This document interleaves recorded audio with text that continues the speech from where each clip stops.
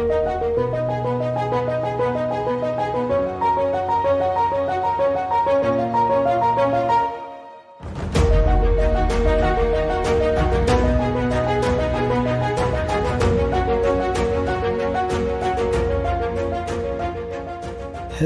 and welcome to the Rep, Rugby's economic podcast. This is the show that looks at how money, power, and politics impact the game we love, shining a floodlight on the challenges rugby faces as a global sport and offers suggestions on how they might be tackled. In our last run out, we discussed rugby's international appeal and how the game evolved through the characters and cultures who played it, from the Irish and the Aussies who relegated it below their own ball games to the Saffas and Kiwis who wrapped their national identities up in their love of it, we saw how rugby colonised the colonies. Today we continue where we left off, with rugby now a global sport and the nations playing having dropped their arms on the battlefield and replaced them with an egg shaped ball in the hunt of a new commodity, a little gold cup.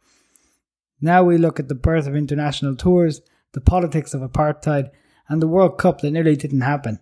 Let's kick off.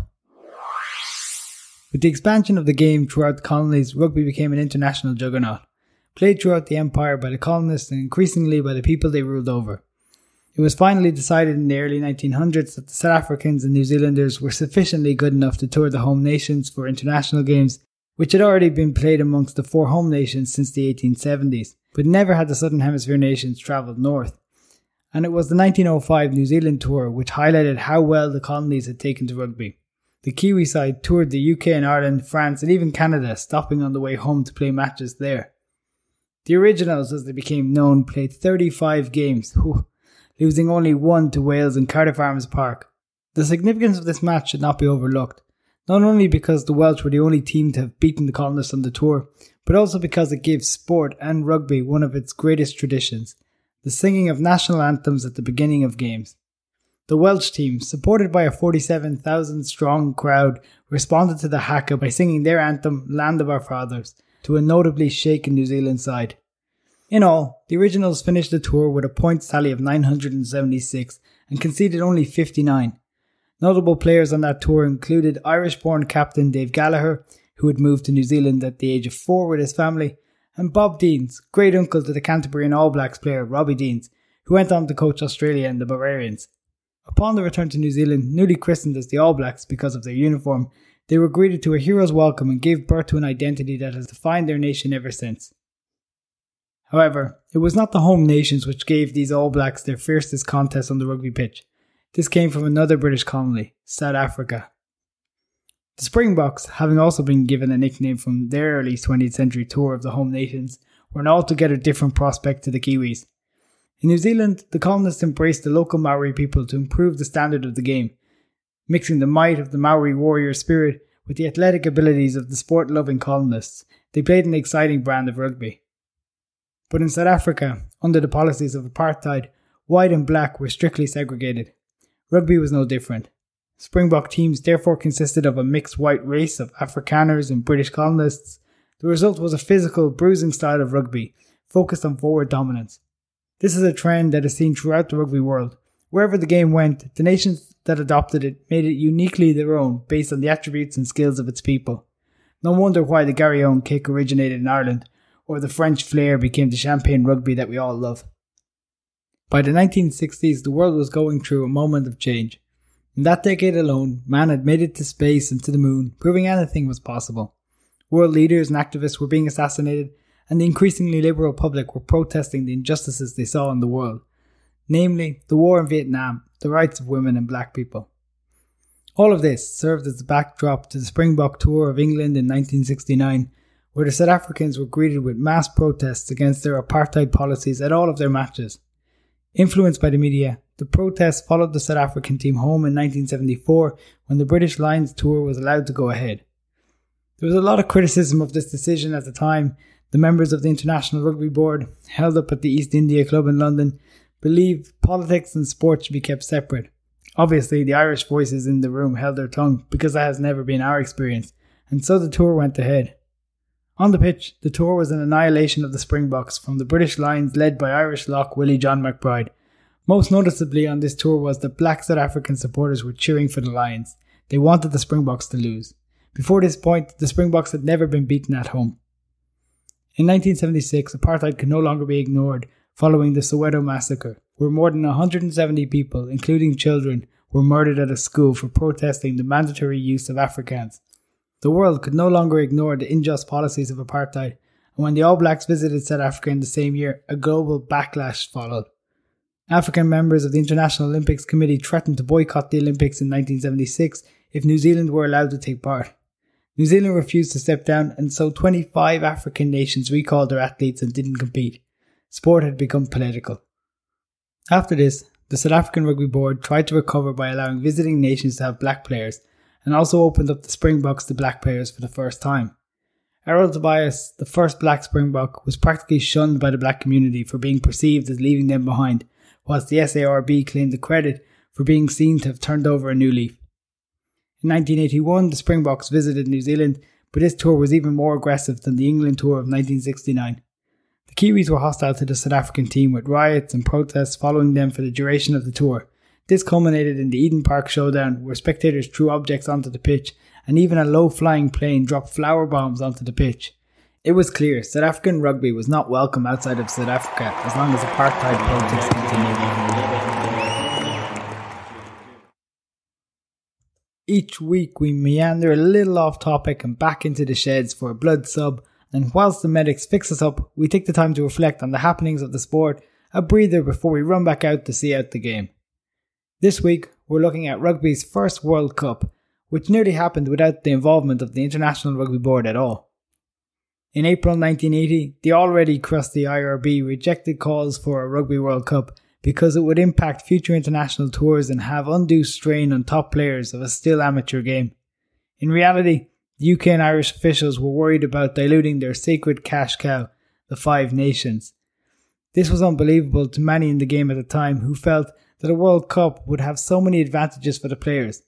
A logical peak in the game for the players to aspire to, a way of deciding who's the best in the world, and an additional revenue which could be used to grow the game even further. Australian sports promoter David Lord saw the potential and tried to establish with financial backing a world tournament consisting of the best eight nations. This was quickly stopped by the RFU with their usual threats of lifetime bans from the sport for any players involved, but they couldn't ignore that there was a growing push, especially from the Southern Hemisphere, for a commercial global tournament. The IRB needed to get on that train as the New Zealand, South African, and Australian unions had already left the station and were planning to host the World Cup. They conceded to a vote in 1985, which was carried, with only Ireland and Scotland voting against the proposition. Interestingly, rugby's outcast at the time, South Africa, still had a vote and voted in favour of the tournament.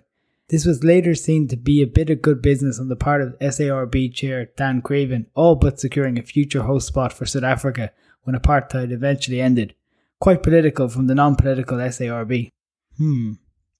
South Africa were actually invited to the first Rugby World Cup by the IRB, now driving the train, but rejected when it became clear that the hosts, New Zealand and Australia, were not going to issue visas to their players. The tournament went ahead in 1987 despite some unease from the players in the Northern Hemisphere who felt they were being asked to play a couple times a week for games they didn't wholly want to be involved in and weren't greatly prepared for. In many ways, they felt as though they were being used to top up the IRB's bank account. And that they did. With a reported $1.6 million profit, a lot of money for a then amateur sport, Rugby World Cup was a huge success for the sport. More than half a million people attended the games throughout the tournament, and more than 300 million people watched from home. What was abundantly clear from a rugby perspective, though, was that the tournament was a one sided affair. You could tell that the Southern Hemisphere teams, especially the winning All Blacks, were fitter, stronger, and just better than the rest of the nations. No doubt due to the extra training time they were allowed from their employers, who were essentially paying them to play rugby. It was now a matter of when, not if, rugby would turn professional. Back in the UK, there was another form of apartheid continuing. This was the separation of amateur rugby union and professional rugby league.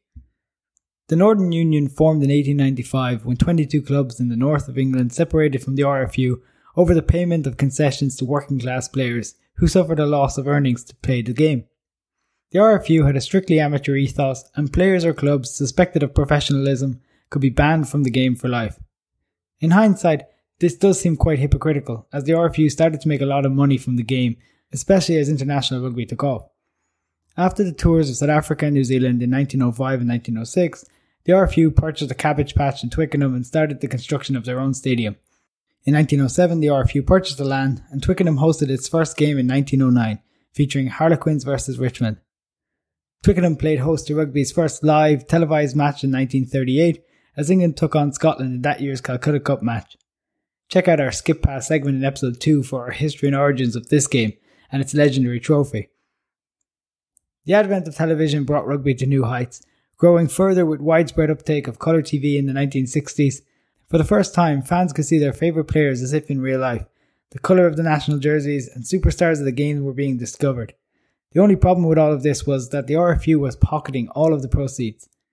As far as anyone could tell, amateurism was the elite's way of saying exploitation. This feel of dishonesty created an opportunity for rugby league to start poaching unions' best players. This was a risky business to be involved in. Typically, rugby league representatives would approach players after matches, handing them a note or a phone number, or send them unsolicited letters to their houses. Remember, if a player was seen talking to anybody from rugby league, they could receive a lifetime ban, just for having a chat. The approach was straightforward. They would lure Unions players away with offers of riches beyond their wildest imagination. In fairness, they wouldn't have had to offer much, as rugby union was strictly amateur. Or was it? In upper class rugby societies, payment didn't always mean physical money. Instead, it was commonplace for players to be afforded certain benefits, like a job in the bank or the law firm. These were jobs which could still be undertaken when injured from playing rugby, of course. The same couldn't be said for the working classes. Most of these jobs involved manual labour, which would be at risk if you suffered an injury from playing rugby. In France and Italy, amateurism existed only on paper. In reality, players were lured from one village to the next to compete and further the sporting achievements of the parish. Such were the local rivalries that existed, especially in France. In Australia and New Zealand, something had to be done to stem the tide of players flocking from union to league. In New Zealand, All Black jersey sponsor and beer producer Steinlager agreed to employ some of the players. They essentially were being paid to train and play rugby as salaried employees of Lion breweries. Fast forward to 1995 and the political moves of the SARB had paid off. The third installment of Rugby World Cup would be held in South Africa, the first major sporting event to be held there since the end of apartheid, only one year previous. In the spring of that year, a battle had been waging for the soul of rugby league between media magnate Kerry Packer, who held the TV rights for Australian Rugby League, and his rival Rupert Murdoch, who had set up Super League, a rival competition. With checkbooks, Super League were approaching ARL and rugby union players to increase the attractiveness of their new product. To stop the raid on players, Packer backed retired Australian Ross Turnbull and the lawyer Geoff Levy's World Rugby Corporation, which aimed to sign up rugby union players to a new global professional franchise. This worried the Southern Hemisphere rugby unions who feared losing control of their stars to private money. So behind the scenes, they came to an agreement with Murdoch. At a press conference held at Ellis Park in Johannesburg, on the eve of the Rugby World Cup final, the South African, New Zealand, and Australian rugby boards announced the Sanzar deal. This would see the creation of 12 professional rugby teams and a Tri Nations Test series, all paid for by a 555 million TV rights deal. At the same time, only metres away down on the Ellis Park rugby pitch, the All Blacks were having their captain's run, quietly passing the ball back and forth between them. Amateurism was preparing for its final battle, and it didn't know it. South Africa would claim victory and be crowned Rugby World Cup champions for the first time. The immortal image of Francois Pienaar receiving the Webb Ellis Cup from Nelson Mandela is seen by many as the moment when rugby turned professional. However, this is just another example of how rugby is written by the victors. A shame too, because I'm a rugby romantic. The reality is a little darker. As Springbok captain, Pienaar was one of Packer's key recruiters in the World Rugby Corporation coup to take rugby union professional. A Trojan horse, well, Jazzy horse, he supported the recruitment of players throughout the Rugby World Cup with a reported 25 of the 28 South African squad signed up. An easy task considering the players were completely amateur. It wasn't until SARB president Louis Luyt got involved and convinced the players that South African rugby was all about playing for that jersey in that tournament and that they would never get that again, essentially threatening the players with the green and gold of South Africa one side had tradition and real money behind it, the other had a vision and the promise of large paychecks. Tradition won out, and the World Rugby Corporation project was dead in the water, despite having nearly 500 provincial and international players signed to it, Without the South African players and the opportunity to have the Springboks versus the All Blacks, it was a fruitless exercise. This is how close rugby union came to being split again over amateurism. It was the straw that broke the camel's back, and by August 1995, the IRB announced the game would no longer be amateur. No, there's the whistle, and that's full time on this week's episode. As you've seen, rugby became a juggernaut and couldn't be stopped, despite the crusty IRB council members trying at every step to derail it. It took private money to force their hand in the end, but that didn't stop them trying to tell their own fairy tale about how it all happened. The economics are simple on this one. Once money is introduced, you get more players. More players means better competitions and more people want to watch the spectacle. That increases the money and the pie only gets bigger, ultimately appealing to commercial interest in creating global superstars. Rugby was no different. In our next hideout, the reps opening the ledger on World Rugby to understand how the game functions, how it's financed, and where the money gets spent. We're also going to look at rugby's biggest sponsorship deal. So until then, don't forget to subscribe wherever you listen to your podcast, and if you can, give us a rating or review and share with your mates. Go well.